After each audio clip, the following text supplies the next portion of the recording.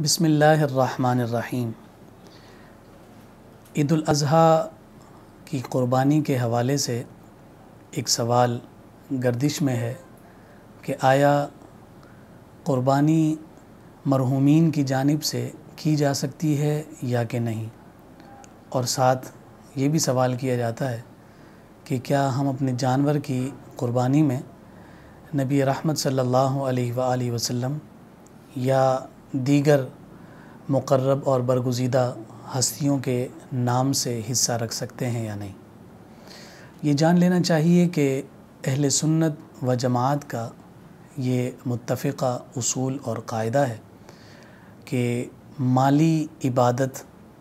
और बदनी इबादत का सवाब ईसाल किया जा सकता है। और जब हम क़ुरबानी को देखते हैं तो क़ुरबानी भी माली इबादत है कि इसके ज़रिए से अल्लाह रब्ज़त का क़ुरब हासिल होता है। अपनी वाजिब क़ुरबानी अदा करने के बाद, यानी जब आप पर क़ुरबानी वाजिब हो चुकी है, चारों शराइत आपके दरमियान मौजूद हैं कि आप मुसलमान हैं,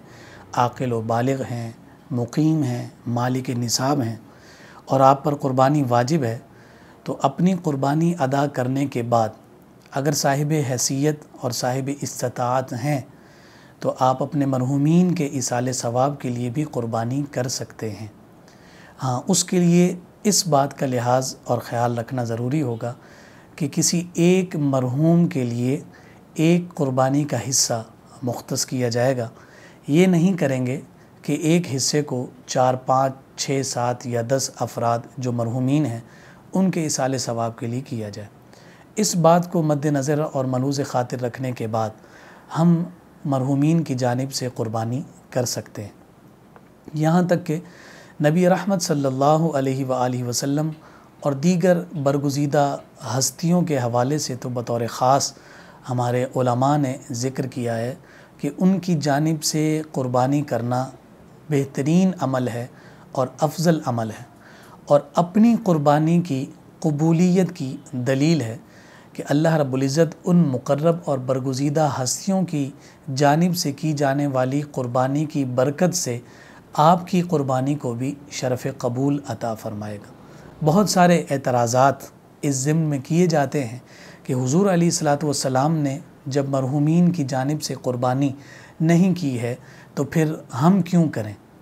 तो इसका एक सीधा सा जवाब ये दिया जाता है कि ये तो तय है बेशुमार उम्महात कुतुब अहादीस में ये बात मौजूद है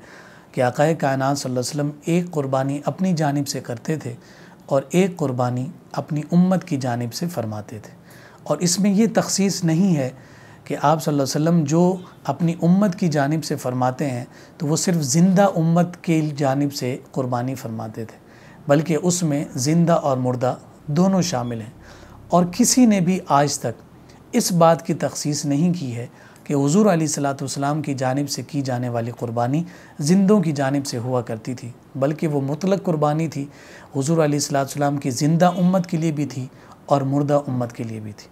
हमें हजूर सलाम की जानब से बित तयन और ना ही सहाबा कराम और ताबईन की जानब से कोई ऐसा असूल या ऐसा कौल मिलता है कि जिसमें हजूर सलाम ने मरहूमिन और इस दुनिया से जाने वालों की जानब से क़ुरबानी से मना फरमाया जब हमें मना नहीं मिलता तो इसका मतलब ये है कि हुजूर अली सलाम का वो अमल जो उम्मत की जानब से फरमाते हैं, उसमें ज़िंदा और मुर्दा दोनों दाखिल हैं। और फिर इस एतबार से भी हमें देखना चाहिए कि जब आकाए कायनात सल्लल्लाहु अलैहि वसल्लम अपने इस अमल खैर में अपनी उम्मत को याद रखते हैं तो हमारे लिए भी ये लाजिम और ज़रूरी है और हमारे लिए ये बहुत ही ज़्यादा बाईस अजर और सवाब है कि हम भी अपनी इस क़ुरबानी में आकाए कायनात सल्लल्लाहु अलैहि वसल्लम के हिस्से को शामिल रखें ताकि उनकी बरकत से अल्लाह रब्ज़त हमारी क़ुरबानी को भी कबूल फरमाए। और साथ ये भी सवाल किया जाता है कि क्या हम अपने नाबालिग बच्चों की जानब से क़ुरबानी कर सकते हैं? तो इसका जवाब ये है कि चूँकि नाबालिग पर क़ुरबानी वाजिब नहीं होती लेकिन अगर वाली और वालिद वारिस अपने नाबालिग बच्चों की जानब से क़ुरबानी करे तो ये मुस्तहब है और अफजल अमल है और उनकी तरबियत का इंतज़ाम और अहतमाम है कि उनके दिल में क़ुरबानी की कदर बढ़ेगी और क़ुरबानी का मकाम और मर्तबा उजागर होगा कि जब जैसे ही उनकी ज़िंदगी में बलूगत के बाद उन पर यह क़ुरबानी वाजिब होगी तो वो फिर अहतमाम के साथ इस क़ुरबानी को इख्तियार करने की कोशिश और सही करेंगे। लिहाजा इस कलाम का ख़ुलासा ये है कि तमाम फ़ुकाह अहनाफ के नज़दीक ये बात मुसलम है कि मरहूमिन की जानब से क़ुरबानी की जा सकती है और हर मरहूम की जानब से एक हिस्सा हम अपने क़ुरबानी की जानब में